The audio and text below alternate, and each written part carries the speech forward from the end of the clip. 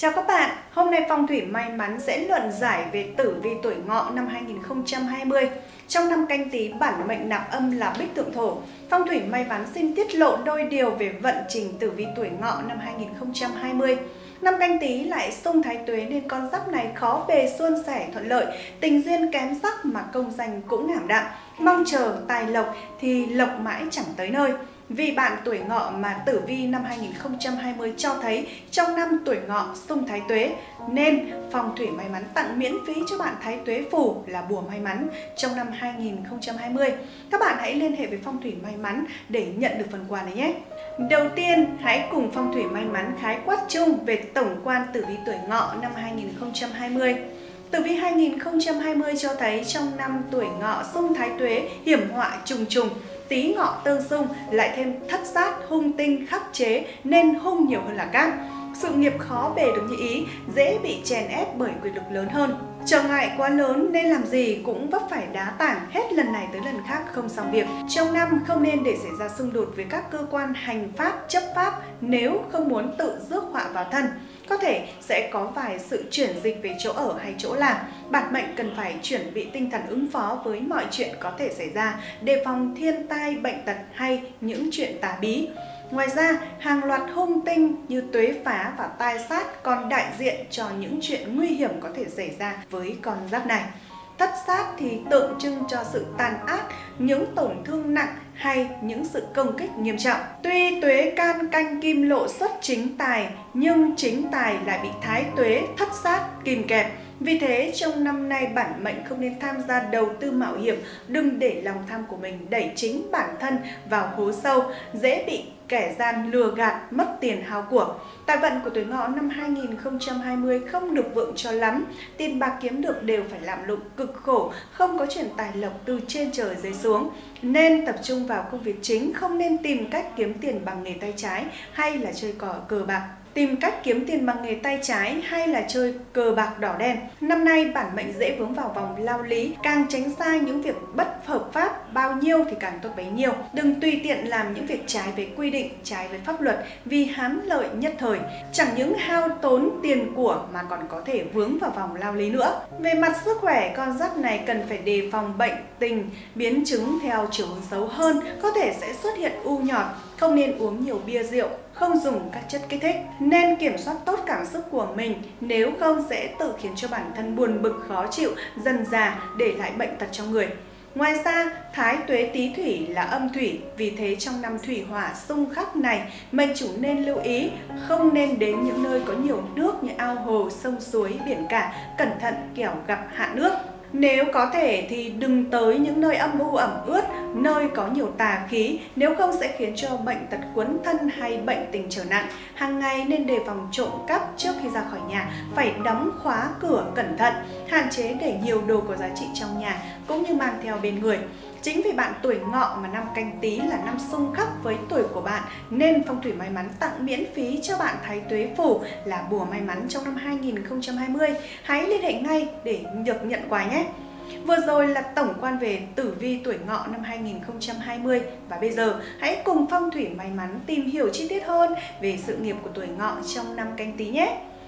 Tử vi sự nghiệp tuổi ngọ năm 2020 Theo dõi phần trình công danh sự nghiệp tuổi ngọ năm 2020 Con giáp này gặp thái tuế tý thủy khắc chế với ngọ hỏa Đối với bản mệnh thì điều này đồng nghĩa với việc áp lực trong công việc sẽ tăng lên gấp bội.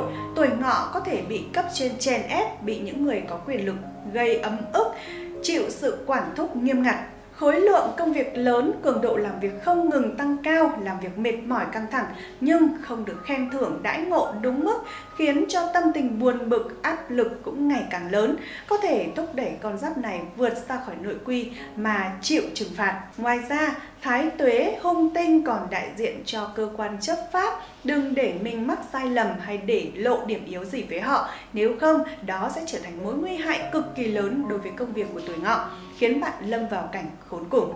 Xét về phương diện sự nghiệp thì con giáp này trong năm nên cân nhắc trước quyết định theo đuổi ngành tài chính hay là kim loại, thủy lợi, ăn uống và nuôi trồng thủy sản. Đừng thấy người ta ăn khoai cũng vác mai đi đảo, cuộc sống đâu có dễ dàng đến như vậy. Chẳng những sự nghiệp khó phát triển mà còn mang tới nhiều khó khăn rắc rối cho chính bản thân tuổi ngọ. Để công việc được suôn sẻ, gặp ít sóng gió, khuyên anh chị nên thỉnh bát bảo tâm kinh và vòng tam hợp quý nhân. Vòng tam hợp quý nhân dùng để chiêu quý nhân, khi được quý nhân giúp đỡ thì công việc hanh thông, thuận đà phát triển. Bát bảo tâm kinh đem lại bình an, may mắn, gia tăng phúc lộc. Khi phúc lộc tăng thì công việc, sự nghiệp cũng theo đà mà phát triển. Tử vi tài lộc tuổi ngọ năm 2020 Người tuổi ngọ trong năm canh tí 2020 tài vận không được như ý tưởng cho lắm. Chính tài khởi sắc chút đỉnh, có nguồn thu nhập hợp pháp nhưng không quá dư dôi. Thêm nữa còn phải đề phòng trộm cắp, lừa đảo gây phá tài. Ngoài ra trong năm có thái tuế là thất sát hung tinh, đối xung với thứ tài nên bản mệnh không nên tham gia các hoạt động đầu tư mạo hiểm. Các hình thức đầu cơ sinh lời đều mang tới nguy cơ mất tiền hao của hoặc bị lừa gạt hoặc bị nẫng tay trên. Những chú ngựa cũng cần phải thận trọng khi làm trong các ngành tài chính, cổ phiếu hay các dự án thủy lợi thường mất nhiều thừa hơn được thường mất nhiều hơn được. Trong thời gian này đừng vì bốc đồng, kích động hay bất cứ lý do nào mà khiêu chiến với người có quyền có thế. Gây sự ở cơ quan hành pháp cũng đừng vi phạm quy định pháp luật, nếu không hậu quả tổn thất nặng nề chẳng thể kêu ai. Để tài lộc tăng hãy sử dụng bát bảo tâm kinh. Bát bảo tâm kinh là vật phẩm phong thủy được thiết kế hai mặt bao gồm Mặt trước là hình tượng tám bảo vật của nhà Phật tượng trưng cho sự bình an, may mắn. Mặt sau là bát nhã tâm kinh và ngũ bộ chú giúp gia tăng phúc đức, phúc phần. Phúc phần tăng thì tuyệt nhiên tài lộc cũng tăng, công danh sự nghiệp thăng tiến. Tử vi tình cảm tuổi ngọ năm 2020 Trong năm 2020, tuổi ngọ không có quá nhiều đào hoa, thái tuế thiên quan tinh là sao khắc giới của nữ mạnh. Xong, về cơ bản thì tí ngọ tạo ra cục diện tương xung nên cũng không xoay chuyển được vận trình tình duyên ảm đạm. Con giáp này dù là nam hay là nữ mệnh thì đều có được cơ hội thu hút sự chú ý của người khác phái, nên duyên hay không là chuyện khó nói trước. Tình cảm đôi bên cũng không được ổn định như những người khác. Năm mệnh chịu nhiều áp lực về kinh tế, lại hay ghen tuông, gây ra những tổn thương cả về thể chất và tinh thần với đối phương. Cũng có những lúc con giáp này vì tình mà đau khổ, bị lừa dối vì quá si mê. Nữ mệnh tuổi ngọ có nhân duyên vượng hơn so với nam mệnh, song nhìn tổng thể vận trình cũng không sáng sủa hơn là mấy. Bạn phải chịu áp lực khá lớn về chuyện tình cảm, dễ trải qua những sóng gió bất chấp, thất bại hết lần này tới lần khác. Con giáp nữ này khao khát có được tình yêu trung thủy, gia đình hạnh phúc, bền lâu nhưng không dễ đạt được ước mơ. Có nhiều nguyên nhân, nhưng nếu ai đó thiếu trung thủy, chớ đổ thừa cho nhân duyên vợ chồng. Người đã kết hôn cần đặc biệt lưu ý đừng tạo cơ hội cho người khác nảy sinh tình cảm với mình, nếu không bạn sẽ tự mình gây tổn thương cho bản thân, cũng tự tay phá vỡ hạnh phúc hôn nhân của mình đang có. Với những bạn chưa lập gia đình thì cần làm gì để có được sự hấp dẫn hơn với người khác phái? Ai cũng biết chim công là một trong những tứ địa linh long ly quy phụ là biểu tượng của sự sang trọng quý phái, quyền quý cao sang. Nên vật phẩm phong thủy nào có hình tượng con công cũng sẽ đem lại may mắn trong tình duyên. Khổng tước phỉ thúy được thiết kế bằng đá phỉ thúy, trên đó có hình tượng chim công được làm bằng bạc 925. Chính vì thế mà khổng tước phỉ thúy là vật phong thủy kích tình duyên hàng đầu được các khách hàng bên phong thủy may mắn tin dùng. Với những người đã lập gia đình thì để vợ chồng hòa hợp hạnh phúc, anh chị hãy thỉnh ngay khổng tước phỉ thúy mang bên mình. Trong trường hợp bạn tình của mình có dấu hiệu ngoại tình bồ bịch linh tinh thì hãy sử dụng gà trống hoặc kiếm gỗ đảo để hóa giải. Tử vi sức khỏe tuổi ngọ năm 2020 Đường sức khỏe của tuổi ngọ trong năm canh tí không được tốt cho lắm, con giáp này trong năm gặp hạn xung thái tuế, lại vướng ngũ hành thủy hỏa xung khắc, bị bạch hổ sát và tai sát hung tinh không ngừng đeo bám. phần trình sức khỏe của con giáp này trong năm 2020 không mấy lý tưởng, bản mệnh phải chịu nhiều áp lực trong cuộc sống, bệnh tật tiềm tàng, dễ vì bốc đồng mà bị thương. Thời gian này dễ mắc bệnh về tim mạch, phong hàn, cảm cúm, có lúc bị tà khí xâm nhập khiến người héo mòn, khó bể chữa trị. Thủy khí vượng là lời cảnh báo con giáp này không nên đến những nơi ẩm ướt tối tăm hay có tà khí, có thể sẽ vướng họa vào thân hoặc tổn thương đến cơ thể tuổi ngọ cũng cần phải kiểm tra sức khỏe định kỳ, năng tập thể dục thể thao, ngày nghỉ dành thời gian bên bố mẹ cùng cả gia đình đi dã ngoại đến những nơi nhiều cây xanh và không khí trong lành. Đừng tự nhốt mình giữa bốn bức tường với áp lực tình tiền, dễ khiến cho tâm sinh lý bất ổn. Sức khỏe kém trong năm, hãy thỉnh bát bảo tâm kinh để đem về bình an sức khỏe. Bát bảo tâm kinh là vật phẩm phong thủy được thiết kế hai mặt bao gồm mặt trước là hình tượng tám bảo vật của nhà Phật tượng trưng cho sự bình an may mắn. Mặt sau là bát nhã tâm kinh và ngũ bộ chú giúp gia tăng phúc đức phúc phần. Phúc phần tăng thì tuyệt nhiên sức khỏe cũng tốt, làm gì cũng tràn đầy năng lượng. Tử vi tuổi ngọ 2020 theo từng tuổi chi tiết. Tử vi 2020 tuổi nhâm ngọ sinh năm 2002, dương, liễu mộc. Các bạn tuổi nhâm ngọ sinh năm 2020 nếu còn ngồi trên ghế nhà trường thì vận trình năm 2020 không tồi, việc học hành càng ngày càng tấn tới. Xong bạn mệnh cần lưu ý, đừng vì thế mà kiêu ngạo tự mãn. Trong giờ học phải nghiêm túc nghe giảng, cố gắng bồi dưỡng kiến thức, dùng năng lực học tập, vượt trội của mình để nâng cao thành tích. Ngoài giờ, cần tìm hiểu khám phá thêm các kiến thức khác, phát huy tiềm năng còn chưa khai phá. Xong con giáp này cần nhớ phải chú ý sắp xếp thời gian biểu cho hợp lý, học phải đi đôi với hành. Ngoài việc học kiến thức thì còn phải tập luyện thể dục thể thao, tiếp xúc với xã hội nhiều hơn. Thời điểm này bản mệnh có những thay đổi về tâm lý, dễ xuất hiện trạng thái bất mãn, phản nghịch. Cha mẹ nên dành thời gian lưu tâm tới con về thay đổi tâm sinh lý để kịp thời hướng cho con về đường chính đạo. Không nên yêu đương quá sớm cũng chớ dành quá nhiều thời gian cho các thiết bị điện tử, thức khuya thậm chí là thức thâu đêm sẽ ảnh hưởng nghiêm trọng tới sức khỏe về sau. Nên giữ chế độ sinh hoạt lành mạnh, điều độ để tinh thần, sức lực lúc nào cũng sung mãn. Tử vi tuổi canh ngọ sinh năm 1990, lộ bàng thủng. Bước sang năm 2020, người tuổi canh ngọ vận trình khá là tốt, bản mệnh có nhiều quý nhân đưa tay giúp đỡ, sự nghiệp có khả năng thăng tiến cần dốc hết sức mình để làm việc có thể mới đạt được thành tích cao, nhận được sự công nhận và tán thưởng từ phía cấp trên. Có điều nên biết lựa sức mình, đừng leo quá cao mà ngã đau. Trong mối quan hệ với đồng nghiệp nên giữ thái độ vui vẻ, hòa nhã, đừng vì công việc mà phát sinh tranh cãi, càng không nên để cảm xúc cá nhân ảnh hưởng đến công việc. Vạn sự dĩ hòa vi quý, hãy học cách đứng ở vị trí của đối phương để suy nghĩ, thấu hiểu và thông cảm, đừng gây thù chuốc oán, về phương diện tình cảm, người tuổi này nếu còn độc thân thì tình trường vẫn như một tờ giấy trắng mãi chẳng tìm được đối tượng ưng ý. Dù có gặp được thì cũng hoa rơi hữu ý mà nước chảy vô tình. Đừng cố chấp miễn cưỡng bản thân. Các cặp đôi ít nhiều nảy sinh mâu thuẫn có vết dạn nứt, tuy nhiên vẫn có thể hóa giải bằng những cách xử lý chịu tổn thương, cũng đừng gây hiểu lầm, hôn nhân cần sự cảm thông và bao dung. Tử vi 2020 tuổi Mậu Ngọ sinh năm 1978 Thiên Thượng Hỏa. Trong nửa đầu năm canh tí 2020, người tuổi Mậu Ngọ vận trình thăng trầm bất động, dễ vướng phải những trở ngại khó khăn, phải đối mặt với nhiều lựa chọn như thay đổi công việc, đầu tư tài chính, tiến tới hôn nhân. Xét về vận trình công danh sự nghiệp, con giáp này khó bề ổn định như mong muốn. Tính biến động trong công việc khá là lớn, có lúc có thu nhập ngoài dự kiến, tiền bạc dồi dào, nhưng cũng có lúc nguồn thu thắt chặt. Muốn đứng vững ở vị trí của mình, bản mệnh phải tính toán từng bước, từng chi tiết. Bốc đồng sốc nổi sẽ chỉ dẫn tới sai lầm, gây ra những thất bại nặng nề. Về phương diện tài chính, con giáp này chưa biết kiểm soát thói quen mua sắm chi tiêu của mình cho lắm.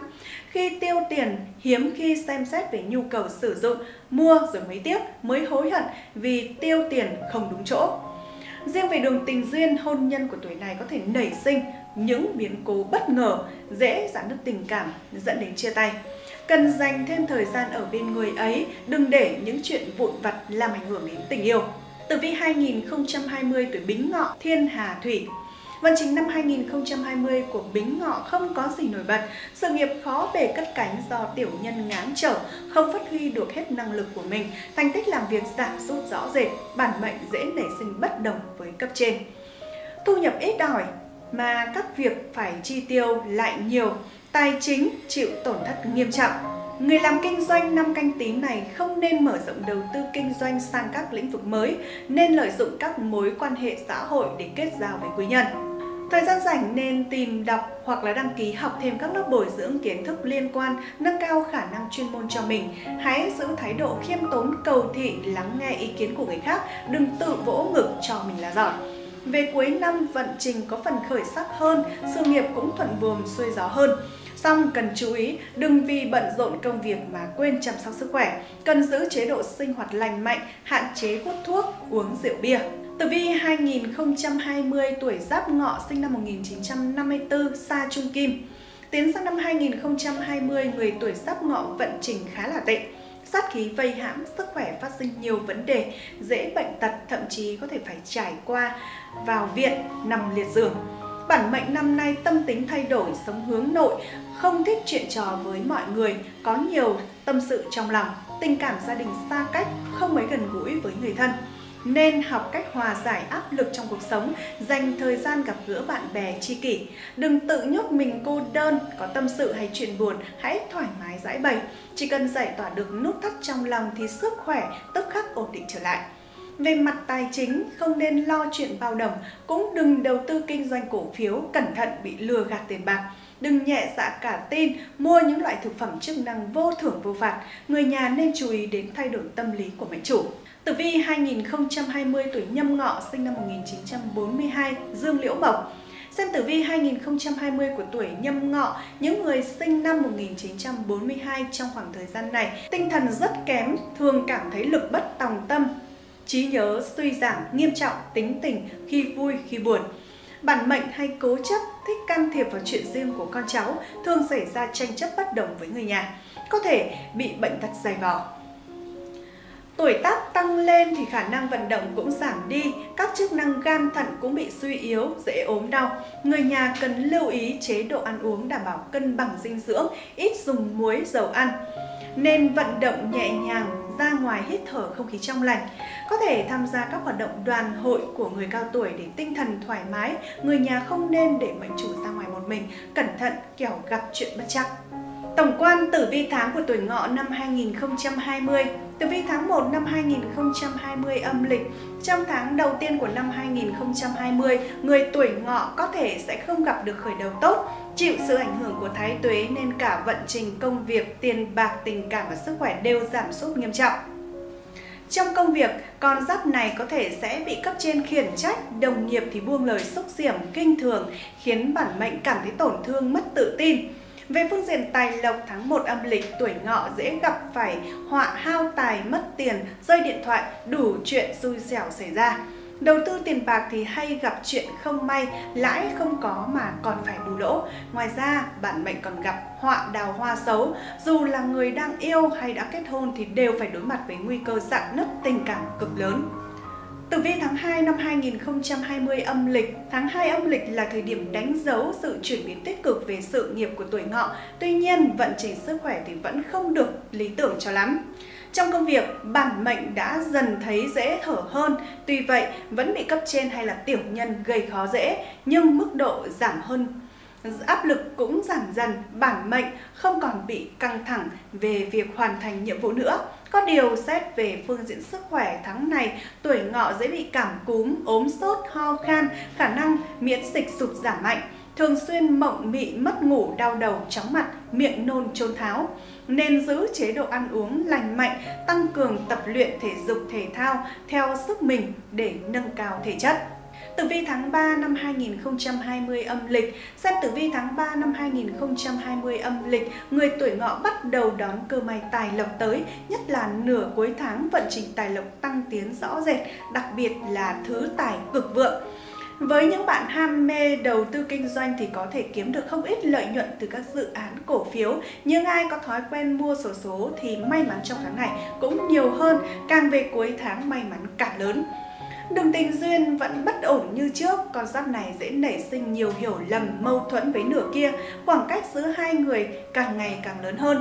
Nếu không nhanh chóng giải quyết ổn thỏa thì có thể dẫn tới kết cục tán vỡ. Vợ chồng muốn hạnh phúc trọn đời bên nhau thì phải tu khẩu. Tử vi tháng 4 năm 2020 âm lịch, tháng 4 âm lịch những chú ngựa phải đối mặt với sự sụt giảm nghiêm trọng trong vận trình công danh sự nghiệp. Trong khi đó, đường tình duyên vẫn một màu ảm đạm, không biết khi nào khởi sắc. Về công việc, những chú ngựa thường xuyên đắc tội với không ít người vì cái tội nhanh mồm nhanh miệng nhưng lại thẳng tính, chẳng biết nói cho vừa lòng mọi người, từ đồng nghiệp cho tới cấp trên đều ấn tượng xấu về con giáp này. Ảnh hưởng nặng nề nhất có lẽ là các bạn làm nghề bán hàng, marketing, tháng này mất không ít khách hàng vì cái miệng thị phi. Về phương diện tình cảm, tuổi ngọ cần dành thêm thời gian cho gia đình, quan tâm chăm sóc bạn đời cùng với cả con cái. Công việc quan trọng nhưng không thể là sinh mạng của bạn. Tử vi tháng 5 năm 2020 âm lịch Chuyển sang tháng 5 2020, sự nghiệp của tuổi ngọ vẫn chưa khởi sắc hơn so với tháng trước, đường tài lộc cũng vẫn hiu hắt bản mệnh gặp phải khá nhiều khó khăn thách thức trong công việc, cần phải cẩn trọng xử lý những việc trong phận sự của mình, đồng thời dành thời gian thiết lập các mối quan hệ xã giao. Bạn nên tìm cách để nói chuyện làm thân với đồng nghiệp, nên giữ thái độ khiêm tốn cầu thị, có thể mới thúc đẩy công việc tiến lên. Về phương diện tài lộc, tháng này họa phá tài, lộ tài không ngớt, không chỉ xui xẻo gặp chuyện mất tiền bị trộm cắp mà còn bị phạt tiền, vay tiền, rồi bệnh tật cũng hao tốn không ít tài lộc. Tử vi tháng 6 năm 2020, xem tử vi tháng 6 năm 2020 âm lịch tuổi ngọ, vận trình sức khỏe khá là ổn định, đường tình duyên có những dấu hiệu khởi sắc bất ngờ. Càng về cuối tháng thì tình duyên càng thêm vượng. Trong chuyện tình cảm con giáp này nếu còn độc thân thì sẽ thể hiện được hết sức hút của mình, hấp dẫn không ít ánh nhìn của người khác phái. Bạn sẽ có nhiều người theo đuổi và nhận được những lời tỏ tình lãng mạn trong tháng này. Tuổi ngọ cần phải tỉnh táo để phân biệt đâu là tình cảm chân thành, đâu chỉ là sự rung động nhất thời. Bạn cũng đừng nhầm lẫn giữa người yêu và người thương mình thật lòng với người chỉ chăm chăm lợi dụng mình. Cẩn thận kẻo vừa tổn thương tình cảm vừa mất mát tiền bạc của cải. Về mặt sức khỏe, con giáp này nên lưu ý để tránh nắng nóng mùa hè, dù nóng nực nhưng cũng không nên tắm nước lạnh thường xuyên, chọn nước ấm vừa phải là tốt nhất. Ăn uống cũng không thể qua loa, tránh đồ ăn lạnh, uống nước lạnh quá nhiều. Tử vi tháng 7 năm 2020 âm lịch, tháng cô hồn không khiến cho đường công danh sự nghiệp của con giáp này chịu ảnh hưởng quá nhiều. Thậm chí công việc còn khá thuận lợi và suôn sẻ. song đường tình duyên thì không được may mắn như vậy. Càng về nửa cuối tháng thì vận trình càng xuống dốc nghiêm trọng. Trong công việc tuổi ngọ không gặp phải nhiều khó khăn phiền phức, bản mệnh đủ năng lực để một mình đảm nhận công việc. Hơn nữa nhờ được quý nhân phù trợ nên bước đường phía trước hanh thông bất ngờ, cơ hội để tăng lương thăng chức cũng nhiều gấp bội. Xét về mặt tình cảm, người có đôi dễ nảy sinh mâu thuẫn bất đồng vì những chuyện nhỏ nhặt trong cuộc sống, thậm chí có thể dẫn tới chiến tranh lạnh. Mối quan hệ bị đông cứng, bản mệnh nên thử thay đổi góc nhìn của mình, suy nghĩ nhiều hơn cho đối phương. Ngoài tình yêu, còn cần cả lòng bao dung và sự cảm thông nữa. từ vi tháng 8 năm 2020 âm lịch, đường tài lộc của tuổi ngọ trong tháng 8 này cực kỳ hưng vượng. Chuyện tình cảm cũng có những bước chuyển biến tích cực hơn so với tháng trước. Con giáp này, nếu theo nghiệp kinh doanh thì tháng này nên đẩy mạnh quảng cáo tiêu thụ các mặt hàng mới, có nhiều cơ hội thu hút khách hàng, thậm chí có được đơn hàng lớn bất ngờ, tài lộc ùn ùn đổ về nhà. Thực ra bản mệnh cũng phải đối mặt với không ít đối thủ cạnh tranh, song những chú ngựa chẳng vì thế mà lo lắng, con giáp này tự tin vào năng lực của mình, cũng tự tin vào chất lượng sản phẩm mình đưa ra, chẳng những đánh bại được đối thủ mà còn chiếm thêm được thị phần mới. Xét về đường tình duyên, những mâu thuẫn trước đó giữa hai người dần được hóa giải, hiểu lầm tan biến, tình cảm được hâm nóng trở lại. Song bản mệnh cần nhớ rằng tình yêu cũng cần được che chở và bao bọc, nếu không có thể bị lụi tàn bất cứ lúc nào. Tử vi tháng 9 năm 2020 âm lịch, bước sang tháng 9 âm lịch tuổi ngọ sẽ nhận được những tin không vui về công việc, trong khi đó sức khỏe vẫn đang tiếp tục trên đà đi xuống. Về công việc, con giáp này bị tiểu nhân ngáng trở, không ngừng tạo ra những âm mưu hãm hại. Nhiệm vụ được giao không thể hoàn thành đúng như dự kiến, bị cấp trên khiển trách, thậm chí có thể cắt lương, cắt thưởng. Cần phải rèn cho mình thói quen tỉ mỉ cẩn thận trước khi bàn giao công việc phải kiểm tra lại để tránh có sai sót. Xét sang sức khỏe, tuổi ngọ dễ bị ảnh hưởng bởi các yếu tố thời tiết, có thể bị viêm mũi, ho khan. Nếu kéo dài, người mệt mỏi thì cần nhanh chóng thăm khám, chữa trị kịp thời. Hàng ngày nên tăng cường luyện tập thể dục thể thao để tăng sức đề kháng. Tử vi tháng 10 năm 2020 âm lịch. Trong tháng 10, sự nghiệp của tuổi ngọ vẫn chưa được ổn định, vận trình chưa có gì khởi sắc so với tháng trước. Đường tình duyên đang xa sút tuy không phải với tốc độ nhanh chóng, nhưng con giáp này cũng cần phải đề phòng. Xét về phương diện sự nghiệp thì bản mệnh tháng này phải cạnh tranh kịch liệt với những đối thủ khác. So với đồng nghiệp của mình bản mệnh không có được năng lực xuất chúng, cũng không có đủ tự tin nên càng không thể phát huy được năng lực của bản thân. Con giấc này cần phải thả lỏng tinh thần, thoải mái bắt tay vào việc thì mới có thể đạt được hiệu suất cao. Căng thẳng áp lực suốt một thời gian dài sẽ chỉ khiến cho tâm trạng trở nên tiêu cực. Căng thẳng áp lực suốt một thời gian dài sẽ chỉ khiến cho tâm trạng trở nên tiêu cực, cũng không còn tâm trạng làm việc nữa. Trong chuyện tình cảm, những chú ngựa vốn sống phóng khoáng cũng nên suy nghĩ hơn cho người ấy. Ai cũng cần có một khoảng trời riêng, đừng kìm kẹp kiểm soát nhau quá nhiều nếu không lại thành phản ứng ngược, tình không bền chặt đã vội nhặt vải Tử vi tháng 11 năm 2020 âm lịch. Trong tháng 11 âm lịch năm canh tí tuổi ngọ cả tiền bạc và sức khỏe đều không được như ý. Đặc biệt sức khỏe thời điểm này khá tệ, cần phải lưu tâm. Bản mệnh tinh thần xuống dốc dù làm gì cũng phải đối mặt với không ít khó khăn chắc trở. Người làm đầu tư cổ phiếu kinh doanh nhà đất cần phải kịp thời thu lại vốn, nếu không có nguy cơ mất trắng cả vốn lẫn lời. Về sức khỏe, tuổi ngọ thường cảm thấy đau đầu, chóng mặt, mất ngủ, ngủ không ngon giấc. Nên nhanh chóng đi đến cơ sở y tế gần nhất để được thăm khám, kiểm tra sức khỏe, tránh những hậu quả đáng tiếc. Nên cân bằng cuộc sống và công việc, đừng tạo quá nhiều áp lực cho chính mình. Tử vi tháng 12 2020 âm lịch, tháng cuối cùng của năm 2020 là thời điểm mà con giáp này cảm thấy vận trình xuống dốc trầm trọng. Mọi thứ chỉ có tệ hơn chứ chẳng bớt đi chút nào, nhất là công việc và tình cảm, có thể nói đã đi xuống tận đáy.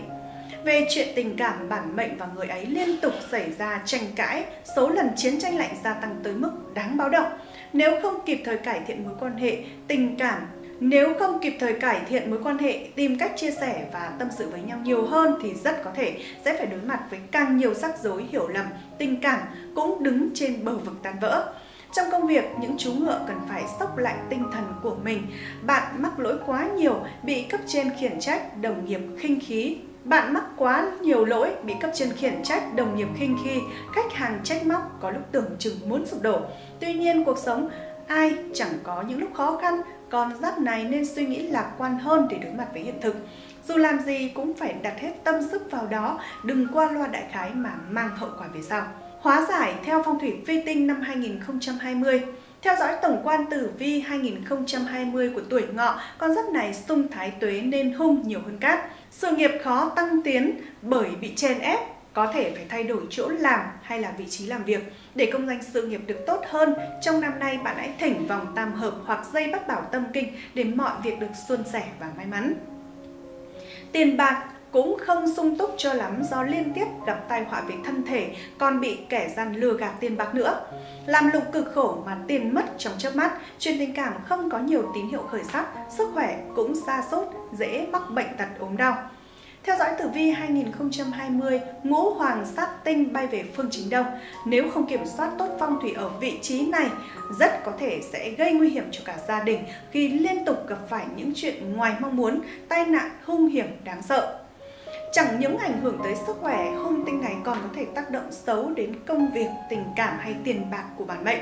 Vì thế, nếu cửa chính, cửa các phòng hay chỗ ngồi giường ngủ ở vị trí này thì phải đặc biệt cẩn thận. Nếu có thể thay đổi vị trí thì nên thay đổi vị trí nếu không có thể đặt tượng kỳ lân phong thủy ở phương chính nam để thúc vượng hỷ khí, nhờ hỷ thần xua tan bớt những sát khí tối tăm. Mệnh chủ có thể đặt thêm tấm thảm màu đỏ ở góc chính nam trong nhà hoặc tăng lượng đèn ở đây. Tạo độ sáng phù hợp có thể nhờ thế mà cải thiện được tình hình sức khỏe của người sống trong nhà. Như đã hứa ngay từ đầu thì chúng tôi có nói sẽ tặng quà cho các bạn tuổi ngọ thái tuế phù làm bùa may mắn cho mình. Để nhận quà các bạn hãy liên hệ với chương trình nhé. Vừa rồi, Phong thủy may mắn vừa tổng hợp và luận giải về tử vi tuổi ngọ năm 2020. Cảm ơn các bạn đã quan tâm theo dõi. Để thể hiện quan điểm của mình, các bạn hãy để lại quan điểm cá nhân bên dưới phần bình luận để phong thủy may mắn tiếp tục hoàn thiện và phát triển nhé. Hẹn gặp lại các bạn trong các video tiếp theo.